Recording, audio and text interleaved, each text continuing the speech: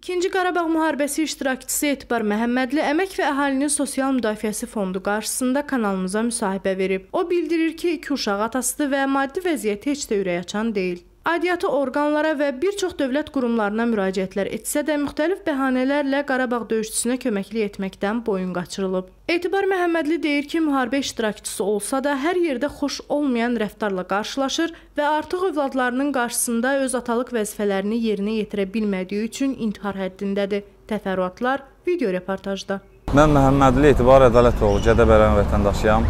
Mən Azərbaycan Silahlı Qüvvələrinin səfərbərlik çağırışı ilə döyüşlərdə iştirak eləmişəm. Mən orada döyüşlərdə olduğum zaman müəyyən travmalar almışam. Qıçamda tutulmalar olub. Yəni ki, e, getmişəm qospitala. Hərbi qospital mənə deyir ki, e, yəni sizdə heç nə yoxdur. Neçə dəfələrlə olmuşam, müayinələrimdə heç bir köməklik olunmayıb. Özüm yəni getmişəm ora. E, heç nə olmadığına görə mənə qəbul eləmir. Deyir biz mülki yatırda bilmərik. Mən 3 gün sonra gəlib müraciət eləmişəm qospitala. Deyir biz mülki yatırda bilmərik.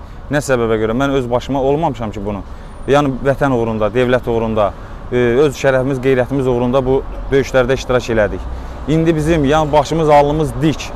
Qulluğumuzu elədik, gəldik, amma indi bizim ailəmizin, uşağımızın yanında başımız, üzümüz qaradır. Niyə biz? Çünki ailəmizi dolandıra bilmir. Mən 2 uşaq qoyub getmişəm buradan. Mənə heç bir yerdən bir qəpik gəlirim yoxdur. 90 gün mən döyüşlərdə iştirak eləmişəm. Mən olmuşam Fuzili, e, e, Cəbrayil, Qubadlı, Zəngilanda sırf döyüşlərdə olmuşuq.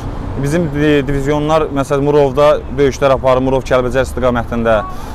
Yəni çox yerlərdə olmuşuq, müdafiələrdə olmuşuq. Yəni indi heç bir yerdən nə kömək, nə zəng eləyirlər. E, ərizələr yazmışam e, Müdafiə Nazirliyinə. Müdafiə Nazirliyinə mən e, qaynar xəttinə də zəng eləmişəm. Müdafiə Nazirliyinin qaynar xətti deyir ki, biz çağırmamışıq ki sizi. Vankomat çağırıb. Vankomat başa düşmədim, öz başına çağırmayıb ki məni. Vankomat da sərəncam verilib, ona görə çağırıbdı məni. İndi əgər elədirsə, mənim həbsat bir dənə az yaşlı qardaşım var, mənə 3 ay uşağıma baxıbdı. Mən borcun içində 1200 manat pul veriblər. Bizə vayeni biletə təxris olanda yazıblar, böyük iştirakçısı deyil. Niyə? Təzdən çağırıblar məni bir həftədən sonra mən Qubadlıya getmişəm. 150 manata taksi tutub getmişəm. Mən orada getmişəm, təzdən müdafiə yazırlar. Niyə mən döyüşdə olmamışamsa, yaz ki, olmayıb. Mən sırf döyüşdə olmuşam axı. Niyə siz müdafiə yazmalısınız? Niyə? Mən 150 manat ona vermişəm. Mən bir iki uşağın üstündə bir dənə az yaşlı 17 yaşında uşaq qoyub getmişəm döyüşlərə. Mənim başqa heç kimim yoxdur. O uşağı da uşağın mənim uşağımın qızdırması olub küçüyə çıxıb məşdağa polisi götürüb aparıb salıb bölməyə. 101 manat cərimə yazıblar koronaya görə, maskasız tələsik çıxdığına görə. Mən oradan zəng elədim, xahiş elədim ki, uşağı buraxın, bəs mənim evimdə qalacaq heç kim yoxdur. Onu buraxmadılar, eləmədi. Bir gün bölmədə yatırtdılar o uşağı. Mənim e, Müdafiə Nazirliyinin 102 qaynar xəttinə bəlkə də 10 dəfə müraciətim olubdu. Deyir biz bununla bağlı heç bir köməklik eləyə bilmərik. Nəyə görə eləyə bilmirsiniz? Axır məcbur qaldım, dedim əgər o uşaq buraxılmasa mənim uşağımın üstündə qalacaq heç kim yoxdur. Mən bu silahı atıb çıxıb gələcəm buradan. Ondan sonra zəng eləyiblər ki, saat 9-a qədər buraxılacaq uşaq. Saat 9-a qədər buraxdılar, eybi yox. O uşaq qaldı. O cəriməni də mənə ödətdilər. Mənim bir qəpik gəlirim olmuyor, olmuyor. Mən niyə cərimə ödəməliyəm? Mən bu devlətin, bu ölkənin evladı deyiləm mən də. Xahiş edirəm mən prezidentimizdən bunun bağlı köməkdarlıq eləsinlər. Heç bir yerdə bizim necə deyim, hörmətimiz yoxdur. Biz utanırıq kiməsə deməyə ki, döyüş iştirakçısı və yaxud qazi, belə bir yüzümüzə tüpürəcəklər bizim. Yəni o vəziyyətə gətirib çıxardıblar bunlar. Sosial Müdafiə Nazirliyinə mən bundan qabaq 3 dəfə gəlmişəm. Hal-hazırda da bax sosial e, indi də gəlmişəm. Bax Sosial Müdafiə Nazirliyinin mənə verdiyi sənəd burdadır. Bax hal-hazırda yazıblar. Mənim heç bir yerdən gəlirim yoxdur. Döyüş iştirakçısıyam özü də. E, gəlirim sıfıra bərabər olduğuna görə mənim e, sosial yardım almağıma imtina edilir. Nəyə görə? Mənim gəlirim sıfıra bərabərdirsə, bəs yaxşı siz fikirləşmirsiniz ki, mən nə ilə dolanıram? Mənə iş təklif eləyir, ay 250 manata getdir, e, nədir, OVN şirkətində xamır götürməyə. Mən bəs 250 manatına ailə uşaq saxlamaq olar. Mənim belim çirk eləyibdi, mən belim ölürəm. Çirkdən tərpənləsi ölüb elimdə. Mənim müalicələrə ehtiyacım var, mən heç birini elədə bilmirəm. Mənim uşağımın 4 aydır müalicəsinin vaxtından keçir. Qılçasında deformasiya gedir, gözlərində zəiflik var. Mən uşağın müalicəsini belə elətdirə bilmirəm. Biz nəyə görə? Biz getdik ki, döyüşək, alnımız diş olsun. Biz gəlmədik ki, gəlib peşmançılıq olaq, ailəmizin, uşağımızın yanında peşman olaq. Nə səbəbə görə? Eləmişik, Xahiş edirəm bizə köməklik olunsun. Gədəbəy rayon icra hakimiyyətinə müraciət etdim. Eləmişəm, ərizə şəklində də müraciətim olub. Qəbula düşə bilmək olmur. Qəbula gedirsən, e, pandemiya ilə bağlı buraxmırlar. E, məktub yazmışam, hələ də ki cavab gəlmir. 15 gündən artıqdır məktub gedibdi. Hələ heç bir cavab yoxdur. Məşğulluq proqramına yazılmışam. Məşğulluq proqramı deyəndə e, qabağıma açıb dəftər qoyur. Deyir 2022-ci ilə qədər hələ sürətimiz çoxdur. 2022-ci ildə sizə e, nəsə köməklik oluna bilər. Mən 2022-ci ilə qədər nə ilə dolanmalıyam? Necə dolana bilərəm? İş proqramı açıblar, gedirsən iş vərəq bu qanunda icra hakimiyyətinə göndərdilər buradan ki, ged işlə təmin ol. Mən işləyəcək vəziyyətdə deyiləm. Mənim belimi gəlsinlər, yoxlasınlar, görsünlər işləyəcək vəziyyətdəyəmsə, gedim işləyim, problem yoxdur. Amma getmişəm ora mənə qabağıma 100 vərəqli dəftəri qoyub deyir bu səndən qabaqda bu qədər adam var. Bunlar yola verilsin sonra sən. Bəs onlar yoluna verilənə qədər mən nə yeyib dolanmalıyam, nə etməliyəm? Bir də mənə gəlsinlər, bunu izah eləsinlər. Mən başqa heç nə istəmirəm. Yaşat fonduna da müraciətim olub, ərizə şəklində də, belə zəng şəklində də. Onlar da sadəcə sənəd istəyir, hərbi travma istəyirlər və yaxud bir də deyir ölüm kağızı. O gün zəng edib deyir biz başqa heç bir köməklik eləyə bilmərik. Mən Ölməmisən. ölməmişik, amma ölü kimi bir şeylərik də. Mən onlara xahiş edirəm ki, bəs mənim müalicələrimə sada ən azından da yardım eləmişsin, müalicələrimə köməklik eləyin. Dövlət tərəfindən dərmanlarım verilsin. Deyir bizdə elə bir səlahiyyətli şey yoxdur da, verə bilmərik. Bizim sizə heç bir şey yoxdur, göstəriş yoxdur. Bəs bu burada göstəriş yoxdur. Hara gedirik göstəriş yoxdur. Bəs biz harda nə etməliyik? Necə eləyək ki, bizə kimsə köməklik eləsin? Biz necə dolanaq? Xahiş edirəm bununla bağlı prezidentimizə, aidiyyəti qurumlara ki, bizə köməklik eləsinlər. Bizim əlimizi, ayağımızı yerdən üzüblər ki. Hara gedirsən, sadəcə şirin sözlərlə başa salırlar, yola verirlər, çıxıb gedirik. Yox, bu şirin sözlərlə də ailə uşağın qarnı doymur. Köməklik eləsinlər, biz də yaşamaq istəyirik. Yaşatmaq istəmirlər də, versinlər valla güllənin qabağına bir dəfəlik nə edirlər eləsinlər. Biz də belə işimizi ki, onsuz da yaşamaq istəmirik burada. Çünki boğaza gəlmişik. Neyniyək, hara gedək? Müdafiə Nazirliyinə deyirəm, Müdafiə Nazirliyi deyir, sənin vankomat çağırır. Başa düşmədim, vankomat öz başına çağırır məni.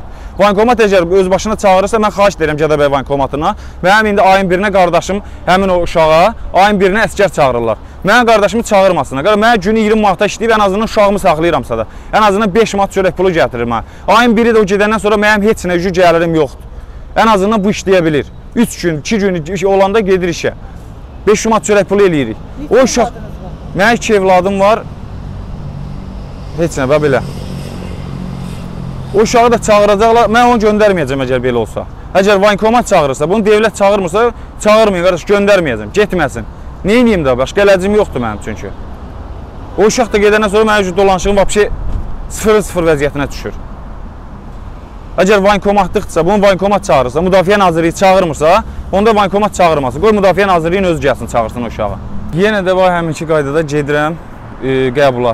Yenə də indi görək nə deyəcəklər. Mən ücü Allahın su bezmişəm. Ya bilsən necə ya adam öldürməliyik, ya da ki özümüzü öldürməliyik. Başqa bizim çarəmiz yoxdur.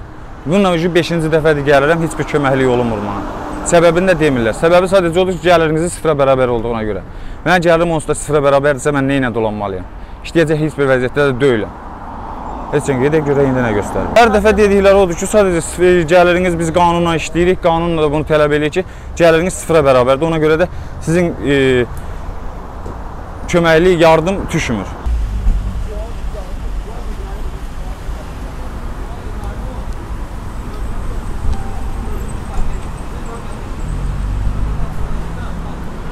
Girdi, heç nə.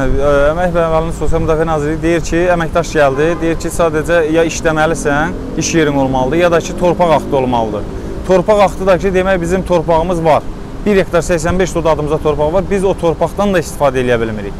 Mən özüm torpaqlar uğrunda döyüşlərdə iştirak edirəm, amma bizim mənim özümün şəxsən torpağım yoxdur. Niyə yoxdur? Çünki hərənin 200 hektar, 100 hektar, 5 hektar yeri var. Məmurlar yiyələnib bunun hamısını. Mən Gədəbəyli olurlar, mən kənd sakini olurlar. Mənim cəmi cümlətən həyətyanı sahəm 30 sot həyətyanı sahəm var. Mən neçə dəfələrlə bununla da bağlı müraciət eləmişəm ki, mənə torpaq ayrılsın. E, Gədəbəy rayon icra başçısı göstəriş verib. Olmuşam qəbulunda göstəriş verib torpaq verilsin. Amma o torpağı vermirlər mənə. Çünki nəyə görə? Torpaq e, bizim torpaqlar e, həm e, düşmənlə həmsərhəd yaşayırıq. Torpaqlar minalıdır. E, bizdə e, başkənd deyilən torpaq var. O torpaqdakı e, bəzi məmurlar yiyələnibdir. Hərəsi 5 hektar, 3 hektar, yəni bizə torpaq düşmür. Deyirsən ki, bizə torpaq ver, deyir bu torpaq Azərbaycanın balansında yoxdur. Bu torpaq Azərbaycanın balansında yoxdursa, niyə sən istifadə edirsən o torpaqdan? Mən də istifadə edim də. Mənim də torpağım minalı ərazidədir. Mən də istifadə edim. Buna bizə şərait yaradılmır. Ya məcburuq ya dilənək ya da gedək bir çatalaq özümüzə sağ öldürək. Başqa bizim əlacımız yoxdur. Çünki erməni öldürmədən az özümüz özümüzü sad öldürək də. Başqa nə əlacımız ola bilər ki bizim? Heç nə. Qoy yaşasınlar bunlar, yesinlər. Kimlərə deyəndə prezidentimizə müraciət edirəm. Başqa mənim heç kimə inamım yoxdur. Baxıram heç biri nə düzgün işləyir, nə düzgün insanı yönləndirirlər. Şəxsən demək olar ki, biz hansısa bir orqana gedəndə utanırıq. Biz az qalıq onlardan üzr istəyək ki, biz gedib döyüşmüşük, biz səhv eləmişik. Yəni ki, bizə bizə qayğı göstərilmir. Heç bir qayğı göstərmir. Elə bir hərəkət edirlər ki, yəni ki, qabaqlarında elə bir biz borcluyuq. Ay, sənin oğlun getmədi. Bir dənəsinin oğlu gedib şey eləmək. Amma mən iki uşaqla, iki dənə balaca evladımı qoydum. Döyüşlərə mən canla başla getdim iştirak eləməyə. Getdim elədik də, gəldik də. İndi niyə bizə peşmançılıq yaşadırsınız? Niyə biz peşman olmalıyıq? Qeyd edək ki, Kanal 13 səsləndirilən fikirlərə görə məsuliyyət daşımır.